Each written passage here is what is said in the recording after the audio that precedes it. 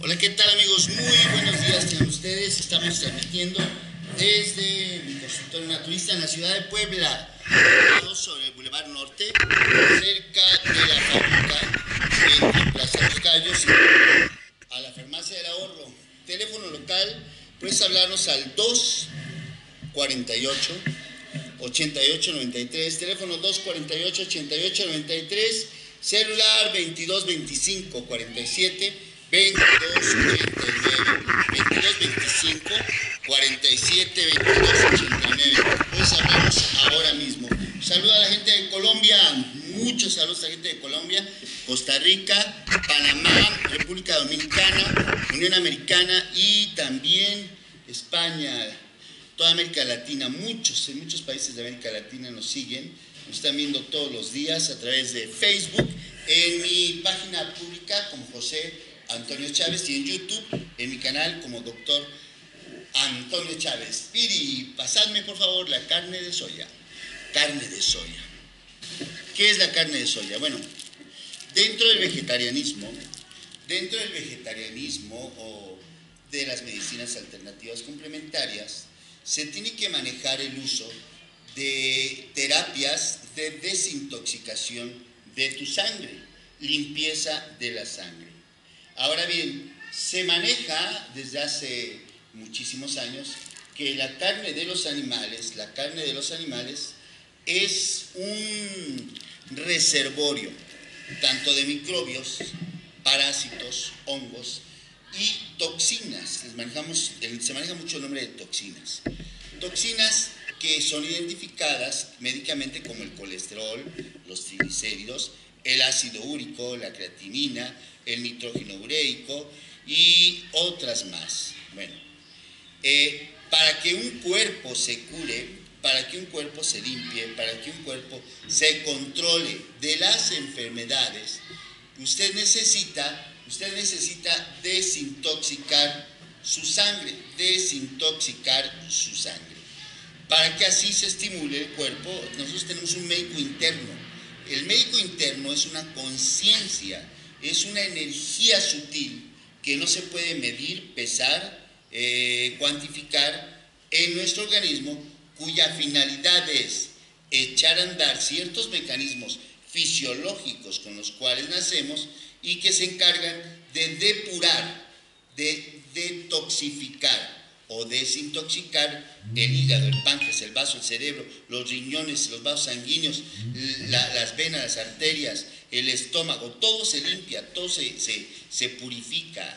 Ese es el detalle. Y ese médico interno hay que despertarlo, dando origen a que el cuerpo funcione bien. Si usted desintoxica su cuerpo, el cuerpo humano comienza a funcionar bien. El hígado comienza a trabajar para eliminar toxinas, para convertir el colesterol total en colesterol bueno y disminuir la concentración de triglicéridos, disminuir la concentración de colesterol malo en su sangre.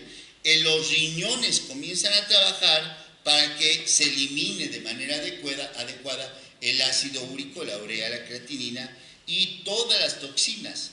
La piel comienza a transpirar mejor, se abren los poros y recuerden que el tercer pulmón y el tercer riñón es la piel. Entonces, nosotros o, eh, manejamos la idea y el concepto que eh, el vegetarianismo es la base de la salud, la base para encontrar el proceso de salud cuando usted está enfermo. Pues bien, como le, quitamos la carne y entendemos como carne a todo aquello que tiene ojos, de las, desde las lagartijas hasta los chupamitos, pasando por los escorpiones, vacas, pollos, conejos, burros y lo que sea. El caldo de las carnes, la leche, el huevo, el queso y la crema. Bueno, esto se puede hacer, pero ustedes piensan que se van a desnutrir. Una alimentación bien vegetariana no produce un proceso de desnutrición ni tampoco de anemia, eso es mentira. Eso es una completa mentira, una reverenda mentira.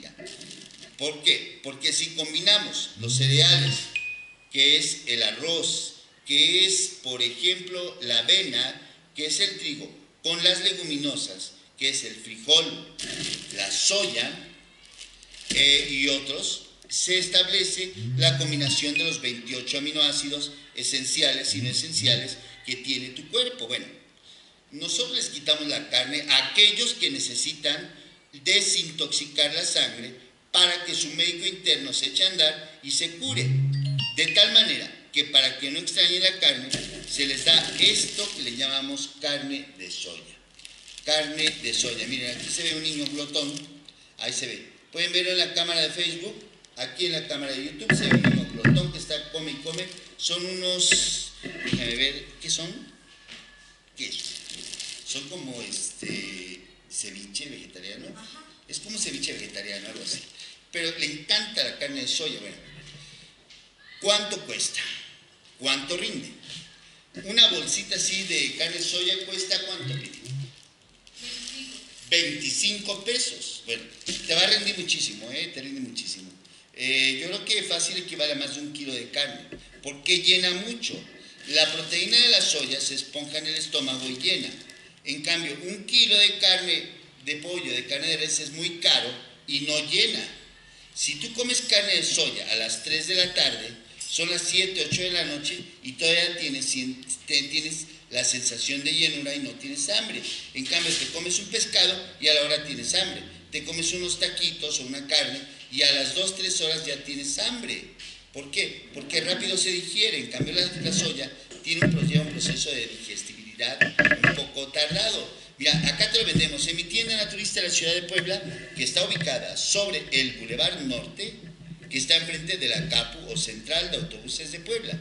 El teléfono local es el 248 88 93. Hablen ahorita y aparten una consulta naturista para que desintoxiquemos su sangre, desintoxiquemos su cuerpo, limpiemos su cuerpo de toxinas, hombre, y usted así se pueda curar. Eh, celular 22 25 47 22 89 Miren, les enviamos productos naturistas a cualquier parte de México y la Unión Americana, marcando al 22 28 42 30 83. Háblenos de 2 a 5 de la tarde. Ahora bien, yo quiero destacar todo eso también, porque usted debe de desintoxicar su cuerpo, desintoxicar su mente y el pensamiento.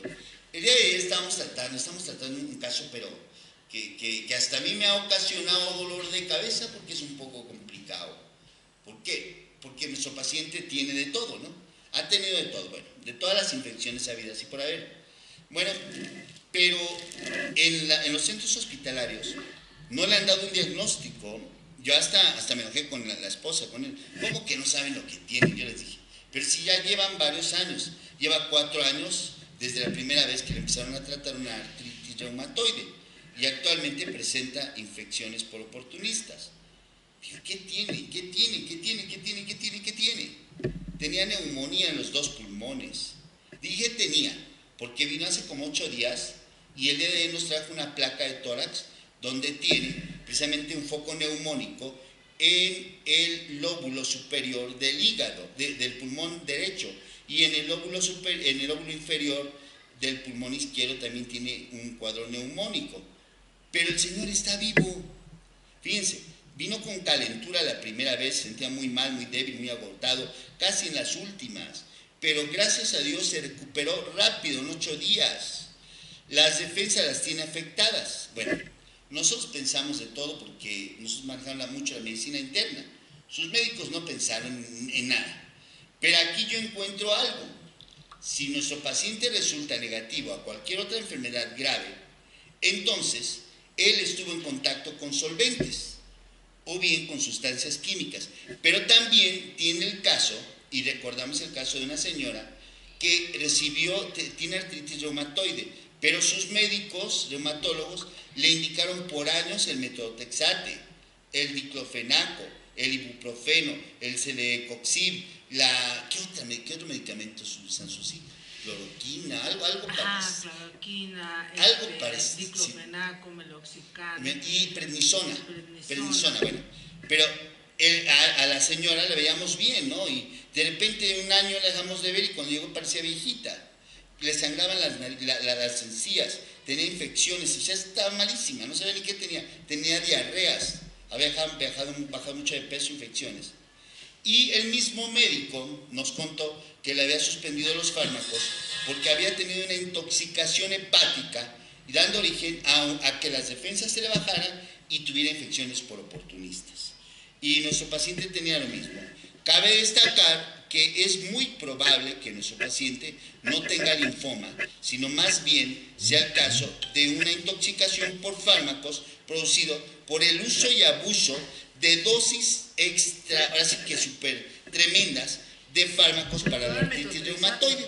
Sí, el metrotexate, que es, es que originalmente el metrotexate se usaba para problemas del cáncer, del cáncer en la sangre, viene nada más. Entonces, un caso sorprendente que en ocho días desapareció la fiebre, mejoró indudablemente. Yo quiero que me traigan a todos sus enfermos, porque muchos de sus enfermos que tienen diabetes, presión alta, artritis, cáncer, lo que sea, no es tanto la enfermedad, más bien es las reacciones secundarias de los fármacos que toman todos los días y que ya le están perjudicando al cuerpo.